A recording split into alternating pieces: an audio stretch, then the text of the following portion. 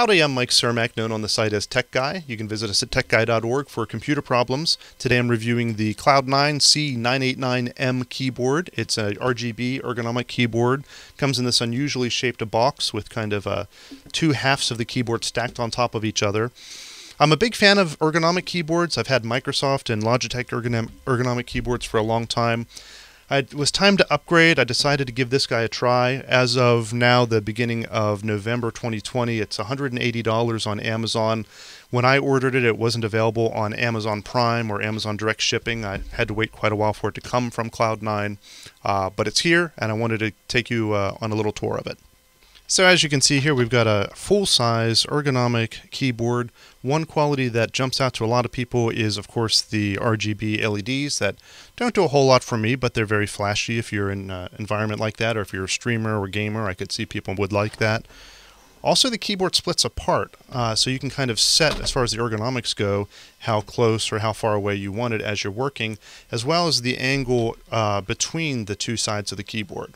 There is no adjustment whatsoever for height. So if we look at the back of this, for example, there is nothing here that's going to open or adjust or give you uh, any kind of ad adjustment. So this is not going to go up in this direction. It's not going to go up in the reverse direction. It's not going to go up like a normal keyboard would. It is set for the height that it is set for on both sides. Uh, between them, where they connect, there are little magnets there. They're not particularly strong. They are uh, good enough so that when you put it together, it doesn't pull them together, but it just gives it a little bit of friction so that when you're pushing the keyboard, it largely stays together. I think they could use a little bit stronger magnets. Um, what else is on here? The keyboard itself, over on the left side, we've got 10 macro buttons. We'll talk about those shortly.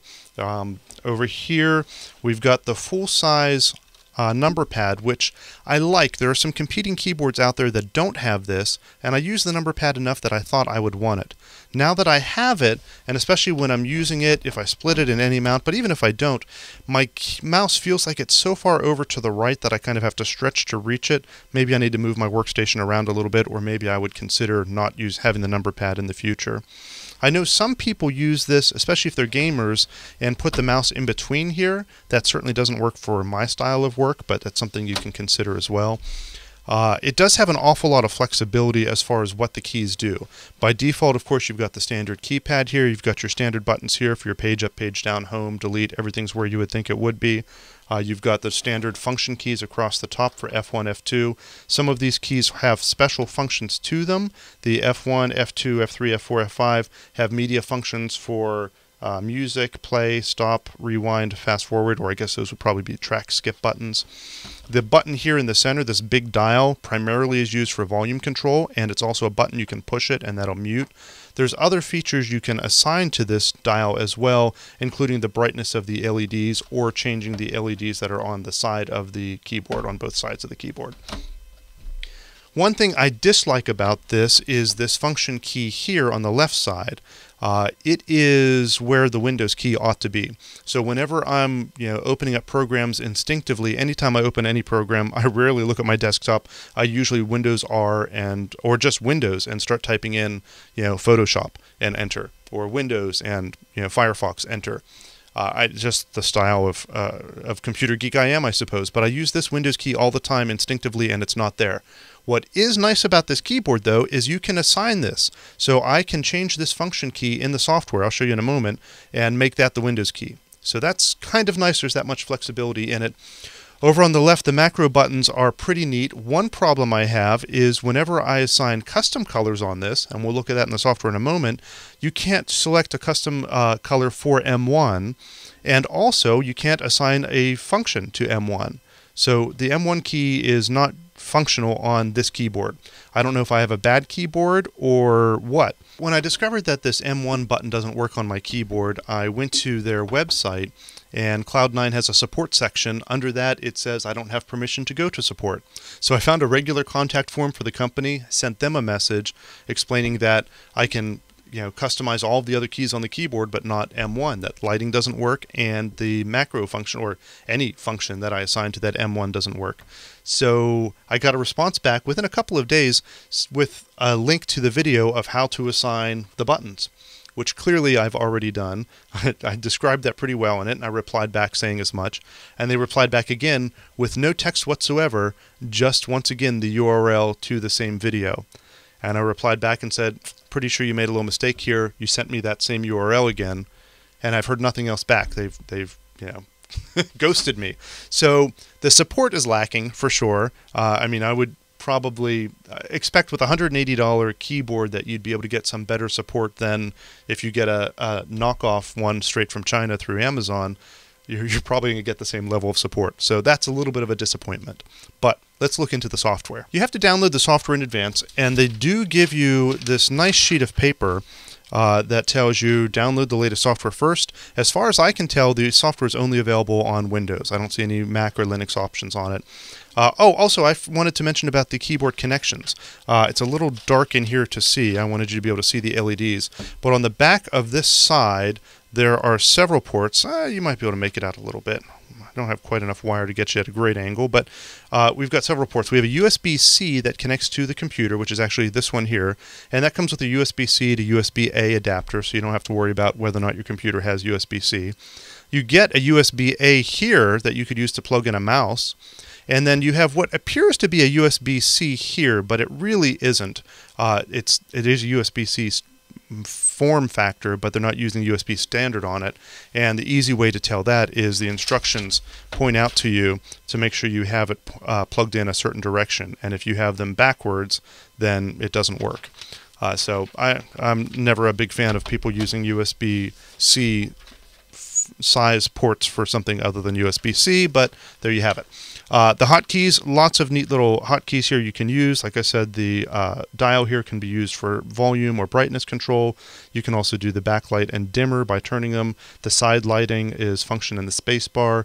Oh, I think I misspoke. I think I told you that was through the dial, but that's function spacebar. Center dial lighting, that's how you can change the uh, center dial, what color it is. Right now you can see mine is red, but you can change that. Media controls we talked about, or turn off all of the lights.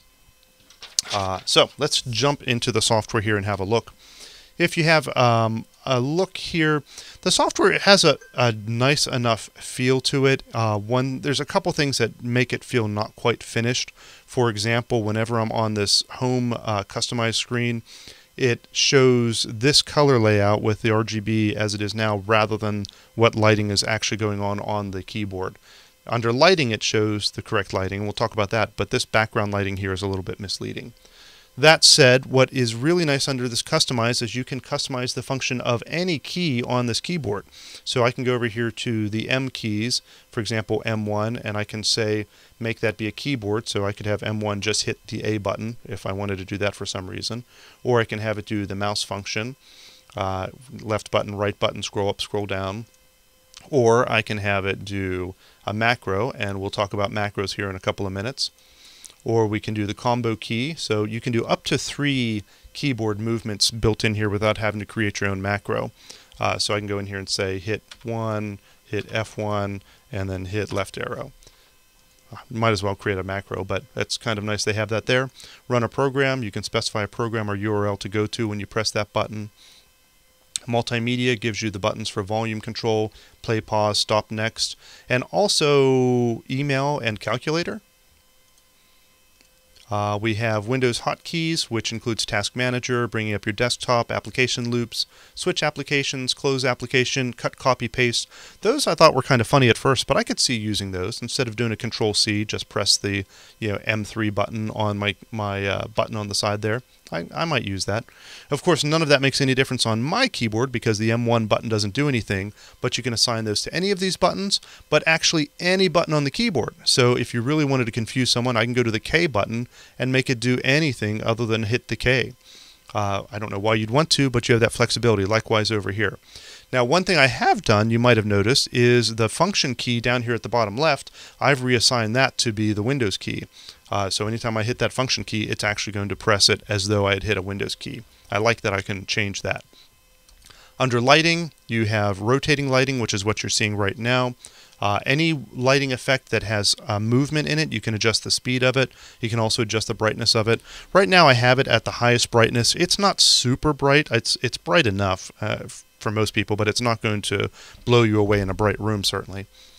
And uh, you have static lights on. You can choose the color here, single on, which is basically just when you press a certain key, it turns that on. There's a glittering effect, all kinds of different effects. Um, you can do user defined, which I thought this was kind of nice. I went in here and color coded different buttons depending on what I want them to do.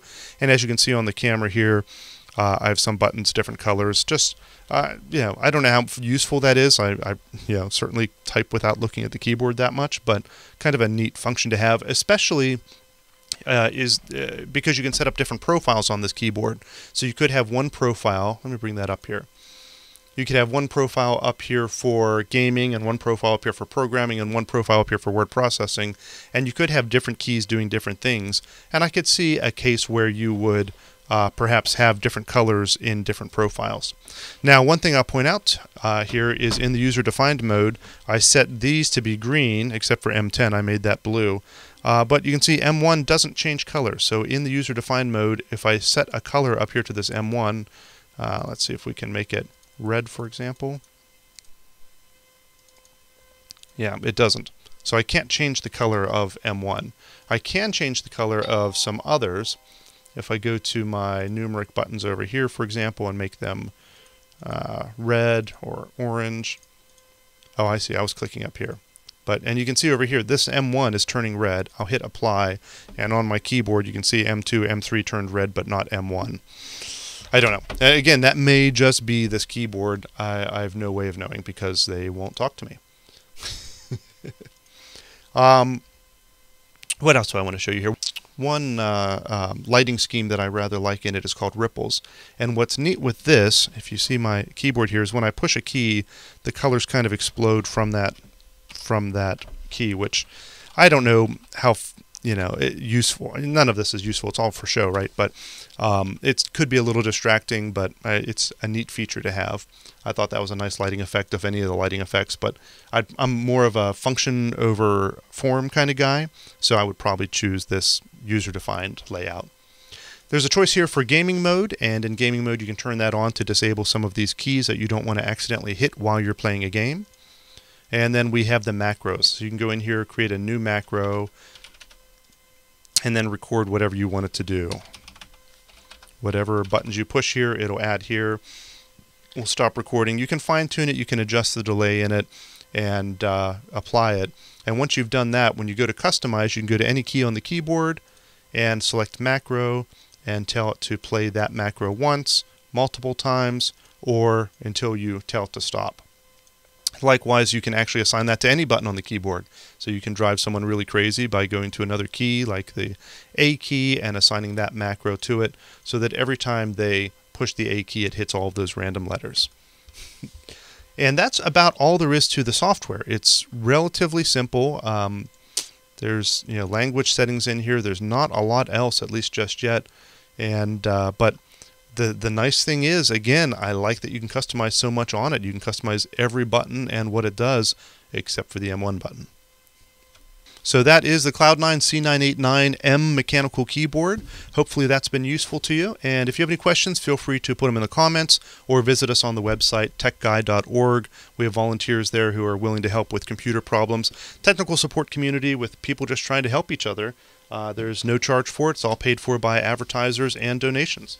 So if you haven't already, go check that out. And if you haven't already, subscribe to the channel. Hopefully we'll be making some more videos like this. Let me know what you might be interested in. I'll see you.